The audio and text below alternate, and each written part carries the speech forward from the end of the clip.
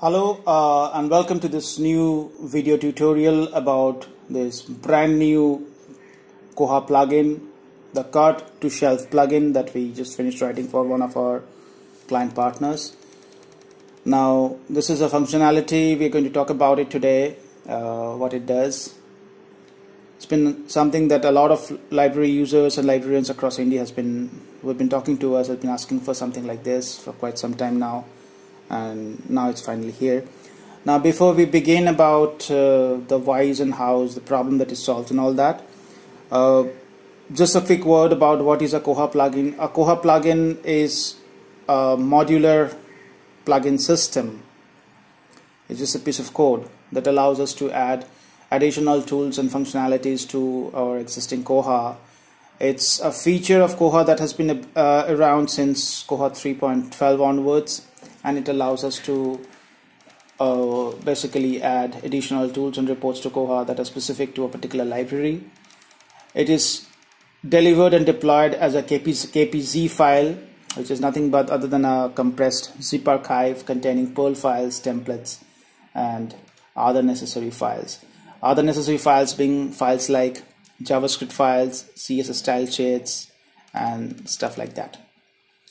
Now, coming to the problem uh, just let let us look for a I'll show you what happens uh, see when we uh, return a book also called a check-in when you scan the barcode of the book and the system is it is returned to the system oh sorry I think I, I went looked up a different one F880 right now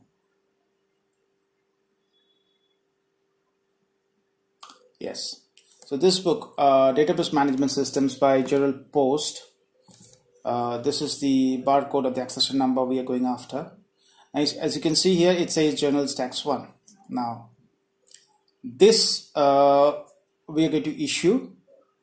We're going to check it out to us. I'm just going to do a dummy checkout to myself.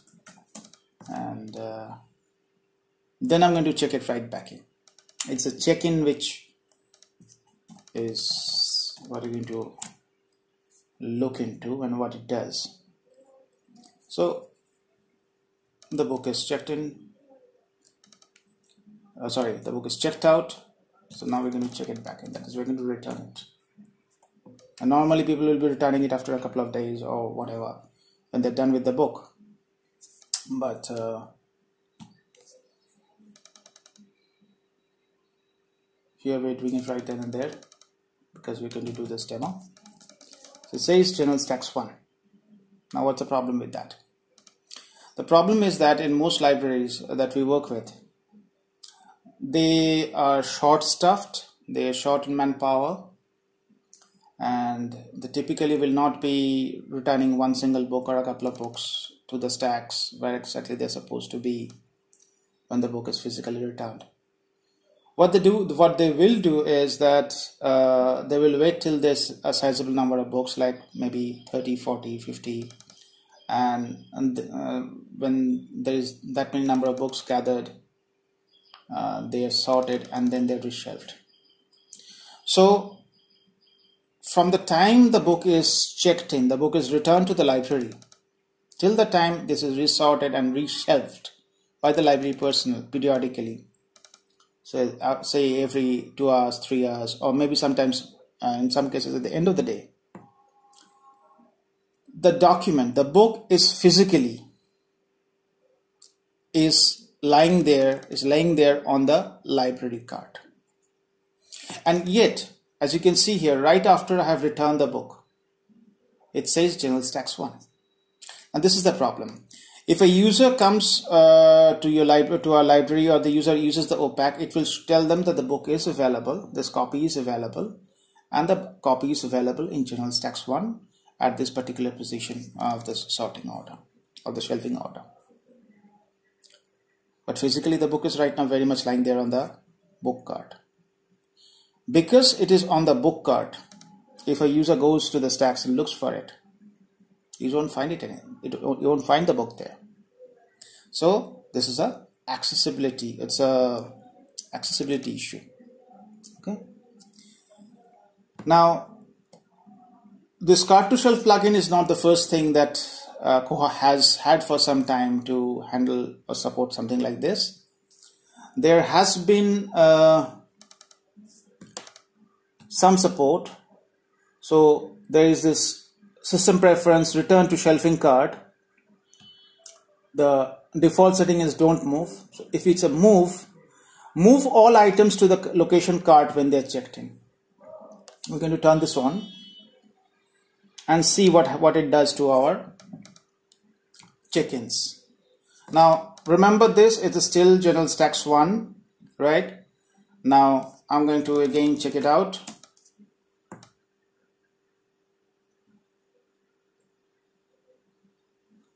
So FA, sorry, yeah. And then I'm going to right back, check it in, right back.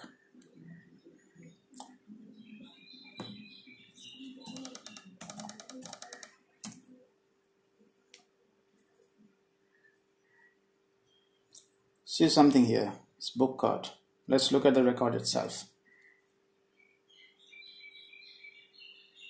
So the book is physically available in the library but the book is not on the general stacks. It's not been shelved back. It's still in the book cart. So now we correctly know where physically the book is right now at this point of time right? Now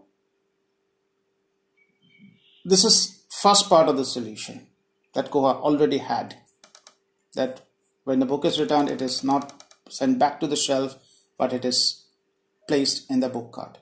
Now, of course, if items can't remain, uh, the items cannot remain in book cart all their life, so they need to be moved back in the shelf. How do you move, do that?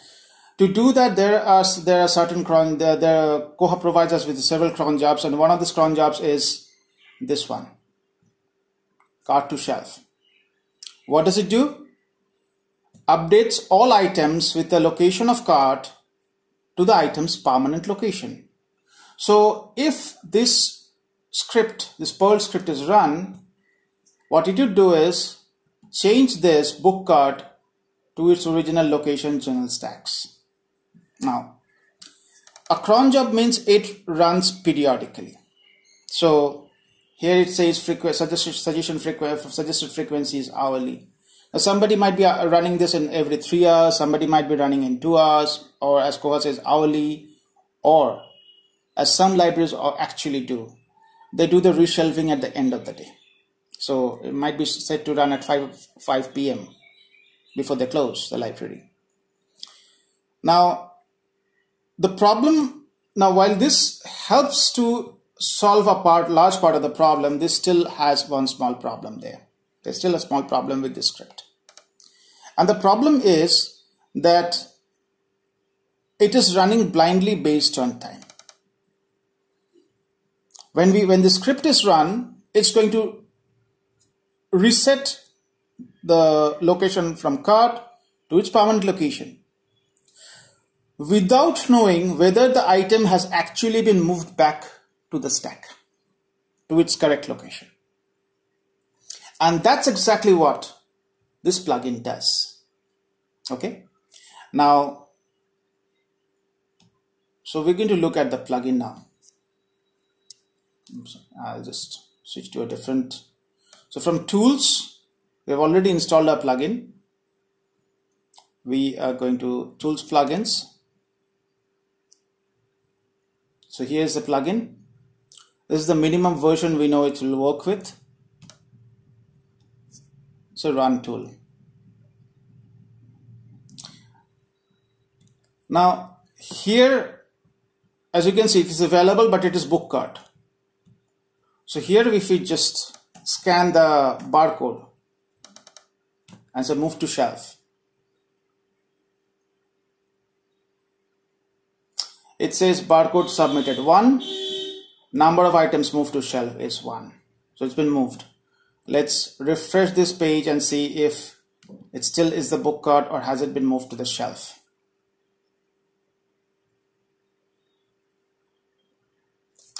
It's back on its original location. So the idea is something like this.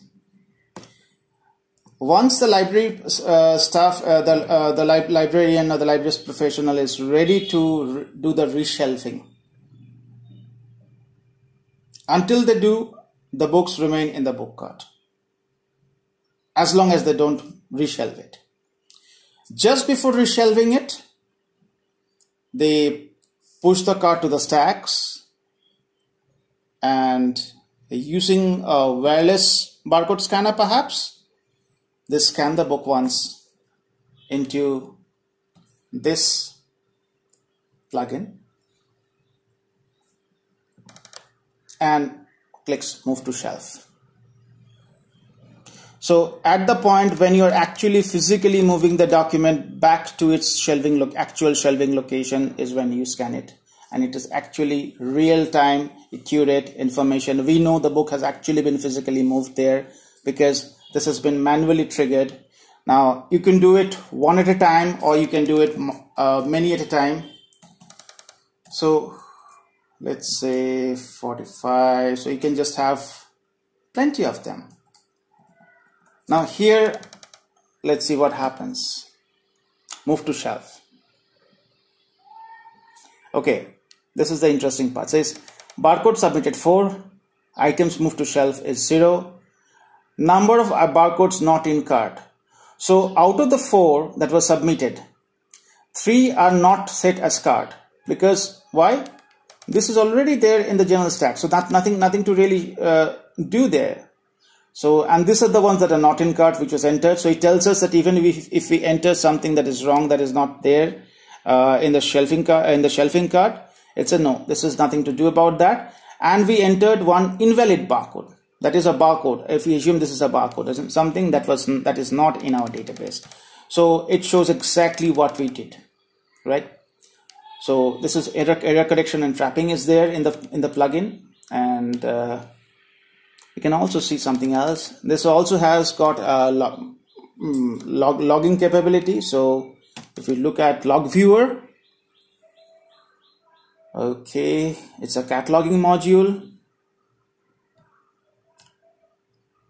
I'm going to set it for today's date and submit. We'll see a lot, lot more records, but we'll see the one that we are going after. So, yep. Right. So, item this move from cart to gen A. Gen A is nothing but the authorized value for what? General stacks 1. Okay. And if you look at it, if you look at the status bar, you'll see item 3669. 3669, item 3669 here. So it's been moved back. It's fully logged. So this is what it solves. So you get an accurate, up-to-date, real-time, actual picture of when you actually move the book off the book cart and into the shelf. So we save the time of the reader.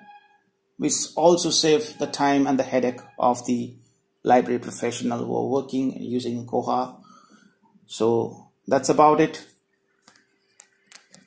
Uh, thank you for watching and have a good day